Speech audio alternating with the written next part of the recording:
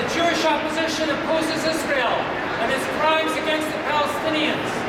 I am a spokesperson for the Jewish opposition, which is denouncing Israel for its crimes against Palestinian people who are being killed in their own streets every day when they demonstrate.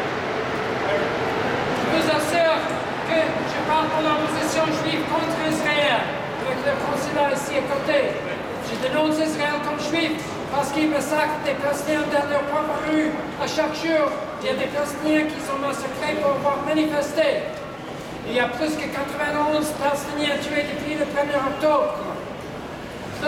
Plus que 1000 personnes qui sont tirées avec des balles vives. Et plus que 1000 personnes de manifestants qui sont tirés avec des balles de caoutchouc. Je parle pour l'opposition juive contre Israël qui commet des crimes de guerre. I denounce the consulate of Israel here as a Jewish spokesperson for the Jewish opposition against their crimes, their crimes against the Palestinian people who are being killed in the streets by the military occupation. They're being killed in their own streets, in their own villages, in their own cities, and they're not even allowed to travel from one village to another by the military checkpoints in their own land. And this cannot continue. People must know that the Palestinians cannot continue to live under such conditions and that the Palestinian refugees have to be having their liberty to return to their own homes.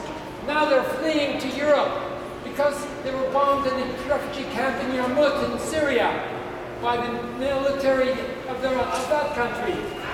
Two times now Palestinian refugees have been pushed out of their countries where they were living.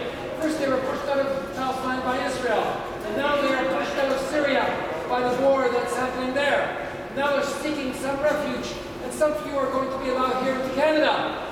But why can't they go back to their own country, where they want to go to? We demand that Israel that they have to open their doors to the Palestinian refugees from Syria. Canada's letting in 25,000 refugees. How many is Israel letting refugees back into their own country? None. None. Why? What's wrong with Israel? What's wrong with Israel is their ideological dictatorship. And I denounce Israel as a Jewish person for their Zionist ideology, which does not respect any other people but their own party members even. Even during the Holocaust, the Zionists were collaborating with the Nazis to only save, you know, a few thousand of their own party members. Down with the party members of the Zionist parties. Who cares about a few thousand who were saved by the Zionists when there were millions of people, millions of Jewish people, including my family, who were being killed in Poland? And the Zionists did nothing to help the Jewish people, nothing to help the Jewish refugees after the war either, who were told to go to Palestine to fight against the Palestinians. No, we reject war.